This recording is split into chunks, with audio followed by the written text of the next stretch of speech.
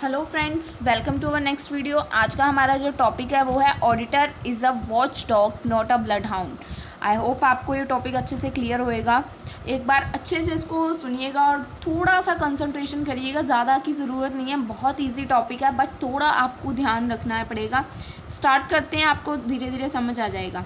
When any person start the business, then various transactions which are related to cash and bank arises in the business ध्यान से सुनिए, जब कोई भी person अपने बिज़नेस को स्टार्ट करता है तो उसको उसकी ट्रांजैक्शंस को रिकॉर्ड करने के लिए which is related to cash या बैंक अराइज में होती हैं बिज़नेस ठीक है जी? At the time of making the accountancy then auditing is appointing जब हमें इन सभी ट्रांजेक्शन्स को रिकॉर्ड करना होता है या अपनी अकाउंटेंसी मेंटेन करनी होती है तो हमें ऑडिटर या ऑडिटिंग को अपॉइंट करना पड़ता है कि वो हमारे अकाउंट्स को चेक करें। इसमें आप अपना पुराना मीनिंग भी लिख सकते हो, जो इससे पहले वीडियोज़ में मैंने आपको समझाया है ऑडिटिंग से रिलेटेड तो अगर आपको ये टफ लगे तो आप वो भी कर सकते हो। Is it is the responsibility to find the true and fair value of the business किसकी रिस्पॉन्सिबिलिटी होती है? ये ऑडिटर की। It is the responsibility to find true and fair ठीक है जी fair value of the business ये auditor की responsibility है। इसमें एक केस स्टडी थी Kingston cotton mill and company Kingston cotton mill and company ये आपको समझ आ जाएगी बट उसके पहले आपको कुछ पढ़ना पड़ेगा, पहले ये पढ़ लेते हैं, देखते हैं, समझ आपको आता है। नहीं आएगा, फिर मैं आपको एक अच्छे वे से समझाऊँगी। An auditor is not bound to be detective and to work with their suspicious auditor मतलब बाउंड नहीं है कि उसने वही वही काम करना है ठीक है? And to work their suspicious that there is something wrong अगर उसे कुछ सस्पिशियस या कुछ गलत लगता है he is watchdog not a bloodhound वो एक वॉच डॉग है। अब आपको ना ये वॉच डॉग का मीनिंग कैसे क्लियर होएगा जब आप इससे नेक्स्ट पॉइंट ये नीचे वाला पढ़ोगे? तो इसलिए मैं बोल रही हूँ आपको इससे थ्रू क्लियर नहीं होएगा। सो so, पहले हम रीड इसको करते हैं। आपको बहुत अच्छे से एक्सप्लेन होने वाले वाला है। Auditor is a watchdog auditor is watchdog, not a bloodhound. It means as the dog. Dog. आपको पता है ना dog always think about the owner dog का क्या काम होता है? डॉग वफादार होता है, वो अपने ऑनर के बारे में सबसे पहले सोचता है। ठीक है जी? इसी वजह से ऑडिटर को एक वॉच डॉग कहा गया है। क्यों? देखो dog always think about the owner as it the same way auditor always think about the owner of the company auditor भी हमेशा अपनी कंपनी के ओनर के बारे में ही सोचता है। इसलिए बोला गया है auditor is a watchdog not a bloodhound वो एक वॉच डॉग है, जैसे कि वफादार बोल सकते हो आप, अपने मालिक के पास होना, ठीक है जी? यहाँ पे देखिए it is the responsibility to find true and fair value of business and give all details to of all the business ये उसकी रिस्पॉन्सिबिलिटी है कि फेयर ट्रांजेक्शन्स को देखना और सभी ट्रू ट्रांजेक्शन्स को गिव अप करना, ठीक है जी? सभी को सेट करना ट्रांजेक्शन्स को। But this task is so difficult ये टास्क उसके लिए बहुत डिफ़िकल्ट होता है because people try who arises fraud जिन्होंने फ्रॉड किया है, वो उसको छुपाने की पूरी पूरी कोशिश करेंगे और उसको गलत इन्फो प्रोवाइड भी करेंगे ऑडिटर को। तो वही लिख रखा है people try who arises fraud जिन्होंने फ्रॉड किया है in the company give wrong information to the company वो उसको कंपनी को रॉन्ग इन्फॉर्मेशन दे सकते हैं बट बट ये उसके लिए ऑडिटर के लिए एक यही डिफ़िकल्ट टास्क होता है, उस फ्रॉड को फाइंड आउट करना। कई बार फ्रॉड कौन कर रहा होता है?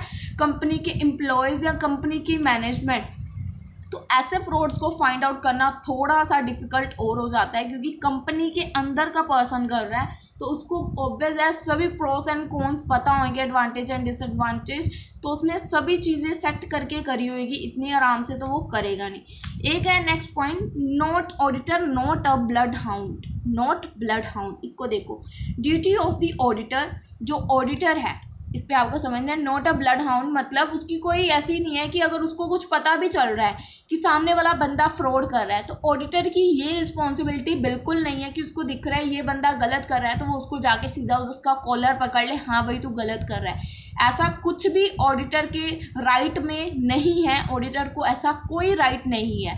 उसको कोई फ्रॉड करता है। फ्रॉड उसको सिर्फ़ फाइंड आउट करना है। फ्रॉड मिल जाता है देन वो कंपनी के ओनर से डिस्कस करेगा। देखो duty of the auditor is not harm to the other person वो दूसरे पर्सन दैट मीन्स जिसकी मिस्टेक है, इसकी ये ड्यूटी बिल्कुल नहीं है कि वो उसको हार्म करे। ठीक है ना? अगर उसको कोई कल्प्रेट मिल भी जाता है तो वो उसको हार्म नहीं कर सकता। जस्ट उसको मिल गया, वो आगे देखते हैं।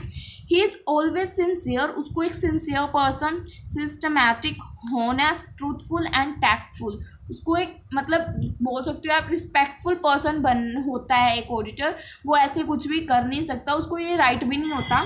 ठीक है? Auditor has a professional knowledge and expert in on field auditor कौन क्या होता है, उसके पास एक प्रोफेशनल नॉलेज होती है, और वो अपनी फ़ील्ड में फ़ील्ड में वो अपनी एक्सपर्ट होता है, ठीक है? In case of any unwanted situation अगर बाय चांस कोई भी अनवांटेड सिचुएशन आ जाती है, जिसके बारे में उन्होंने उसने सोच भी नहीं रखा the remedial action has to come from the owner of the entity then फटाफट उसी समय, उसी सिचुएशन में एक्शन कौन लेगा? Remedial action has to come from the owner of the entity company के ओनर के थ्रू एक्शन लिया जाएगा। वो नहीं ले सकता एक्शन उसके पास राइट right नहीं है।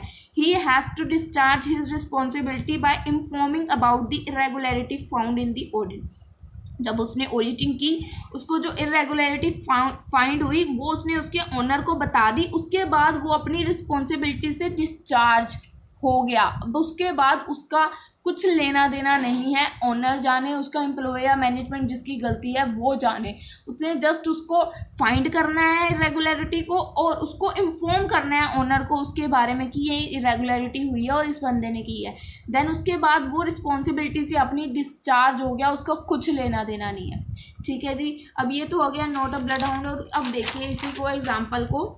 ये जो हमने केस स्टडी देख रहे थे auditor is not bound to detective वो ये नहीं है कि उसको डिटेक्ट करके मतलब उसने उसको पनिश वगैरह करना है and to work with their suspicious जब भी उसको लगे कि इस चीज़ में गड़बड़ है सस्पिशियस लगे तो then there is something wrong तो वो उसको चेक कर सकता है. Because he is a watchdog वो एक वॉच डॉग है मतलब वफादार है अपने मा, मालिक का. तो वो कर सकता है ऐसे फाइंड आउट अगर उसे कहीं भी कुछ शक लग रहा है कि यहाँ पे गलत हो रहा है तो उसको फाइंड आउट कर सकता है. He is justifying believing tries servant of the company and is entitled to rely upon their representation provide he takes reasonable care. वो justify करता है अगर उसको कुछ भी रॉन्ग लगता है तो वो उसकी पूरी छानबीन करता है ठीक है? वह जैसे आ, मतलब बोल सकते हो आप वफादार लोग करते हैं ठीक है? आपने ट्राई करता है कि कंपनी को अपना हंड्रेड परसेंट दे। अगर उसमें से कुछ मिस टेक उसको मिलती भी है तो जो भी है, चाहे सही उसने गैस किया या गलत किया, वो उसकी entitle to rely upon the representation provide करता है। ही टेक्स रीजनेबल केयर पूरी ईमानदारी के साथ रीजनेबल केयर के साथ उस इंफॉर्मेशन को प्रोवाइड किया जाता है। ये केस स्टडी कुछ है किंगस्टन कॉटन मिल कंपनी की 1986 की है। ठीक है फ्रेंड्स तो इसके बाद हम यहाँ पे ये वाले पॉइंट्स हमने पढ़ लिए।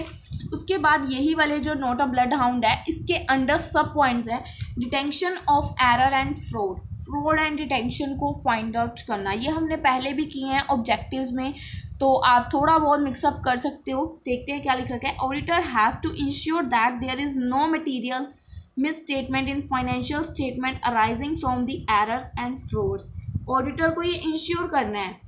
ठीक है? ऑडिटर को ये इंश्योर करना है कि यहाँ कोई भी that there is no material misstatement कोई भी मिस स्टेटमेंट नहीं है फाइनेंशियल स्टेटमेंट में। कोई भी एरर या फ्रॉड की वजह से कुछ मिस स्टेटमेंट या मिस रिप्रेजेंट नहीं हुआ हुआ है फाइनेंशियल स्टेटमेंट में। He has to exercise certain degree of skill and care and for detention error and fraud इसके लिए उसने, ये उसके पास नॉलेज कैसे है? मतलब उसको कैसे पता चल जाता है, देखते हैं कि एंट्री में कुछ गलत है या यहाँ कुछ फ्रॉड हो रहा है। उसके, वो उसको मतलब कह सकते हो एक्सपीरियंस पे बेस्ड है उसके। He has to experience certain degree of skill on care the detention error उसको स्किल्स उसके पास इतनी है कि वो उसको एरर्स फाइंड आउट हो जाते हैं, पता नहीं कैसे। ठीक है? This can be find through checking कैसे फाइंड करता है चेकिंग थ्रो चेकिंग पहले चेकिंग करेगा एंड वाउचिंग करेगा through books of accounts check करेगा लेजर अकाउंट चेक करेगा वोचर चेक करेगा and other relevant information and data available जो भी उस एंट्री से रिलेटेड उसको डाटा मिलेगा, वो उसको चेक करेगा पर्सनली और उस एरर को फाइंड आउट करेगा। एक है, ये हुआ हमारा detention of error and fraud next है prevention of error and fraud prevention में क्या है? Auditor can not do anything directly to prevent error and frauds auditor इनके ऊपर डायरेक्टली कुछ भी नहीं कर सकता। अगर उसको एरर्स या प्रिवेंशन कुछ और फ्रॉड्स मिल भी जाते हैं तो एडिटर्स ऑडिटर इसके ऊपर खुद एक्शन नहीं ले सकता। After completing the auditing work the auditor can advise his client by making suggestions जब उसकी ऑडिट वर्क कंप्लीट हो जाती है देन ऑडिटर जो है वो एडवाइस लेता है क्लाइंट से या मेकिंग सजेशंस लेता है regarding various way of prevent errors and fraud in future कि फ्यूचर में उसके क्लाइंट से सजेशंस लेता है कि फ्यूचर में कैसे कैसे फ्रॉड होने की मतलब संभावना है। If he asks is for that the suggestions दे रखे हैं। Changing in accounting system then वो उसको बता सकते हैं कि अगर अकाउंटिंग सिस्टम आपको चेंज करना चाहिए या improvement in internal control system में चेंज करना चाहिए, ठीक है? तो वो उसको कुछ सजेशंस दे देते हैं। अगर वो उन सजेशंस को इम्प्लीमेंट करता है then in future the chances of errors and fraud can be minimized तो वो फ्यूचर में फ्रॉड होने के चांसेस मिनिमाइज हो जाते हैं, कम हो जाते हैं if his advice is taken and implement जो कब होते हैं, जब वो जो एडवाइस लेता है, उसको इम्प्लीमेंट भी करता है राइट स्पीरिट से। ठीक है जी? The auditor shall follow the following standard while performing his duty उसको जब परफॉर्म करनी है ड्यूटी तो कुछ ये फॉलोइंग पॉइंट्स हैं, इनका उसको ध्यान में रखना है। ये तो करने ही करने हैं। He shall assess the internal control system in the force and verify its working पहले उसको इंटरनल कंट्रोल सिस्टम को चेक करना है वेरीफाई करना है कि वो काम कर रहा है। He shall be ensure that accounting principles are follow while recording the business transaction उसको ध्यान में रखना है। जब ट्रांजेक्शन को रिकॉर्ड किया जा रहा है तो जो हमारी अकाउंटिंग के प्रिंसिपल्स हैं, उनको फॉलो किया जा रहा है। रहा है या अपनी मर्ज़ी चलाई जा रही है। It shall be examine whether policies of management have been follow while recording accounting transactions उसको एग्जामिन करना है जब पॉलिसीज़ हैं मैनेजमेंट की, उनको फॉलो किया जा रहा है अकाउंटिंग की ट्रांजेक्शन्स को रिकॉर्ड करते टाइम या नहीं। उसके बाद है it shall be examine that various accounts have been prepared as per provisions of companies act account तो उसको ये भी एग्जामिन करना है कि जो वेरियस अकाउंट्स हैं, वो भी प्रिपेयर किए जाएँ। ये नहीं है कि एक हमने अपना लेजर या कुछ बना दिया जर्नल एंट्रीज डाल दी तो हो गया। नहीं जी, जितने अकाउंट बनते हैं, सभी अकाउंट्स को प्रिपेयर किया जाए। देन लास्ट में it shall be check whether profit and loss and balance sheet exhibit true and fair view of state affairs of the concern उसको चेक करना है कि जो balance sheet profit and loss जो भी बनाए गए हैं, वो फेयर एंड ट्रू हैं या नहीं। ये कुछ उसकी ड्यूटीज़ हैं जो उसको निभानी है पहले ऑडिटिंग से पहले, ये सारी चीज़ें उसको चेक करनी है। हील परफॉर्मिंग हिज ड्यूटीज़ ठीक है जी? आई होप आपको ये टॉपिक अच्छे से समझ आया है कि auditor is a watchdog not a bloodhound अगर आपको इसमें थोड़ी प्रॉब्लम आई है तो आप मेरे को कमेंट सेक्शन में बता देना। ठीक है, अगर कुछ भी समझ नहीं आया तो डिस्कस कर लेंगे हम। Bye bye guys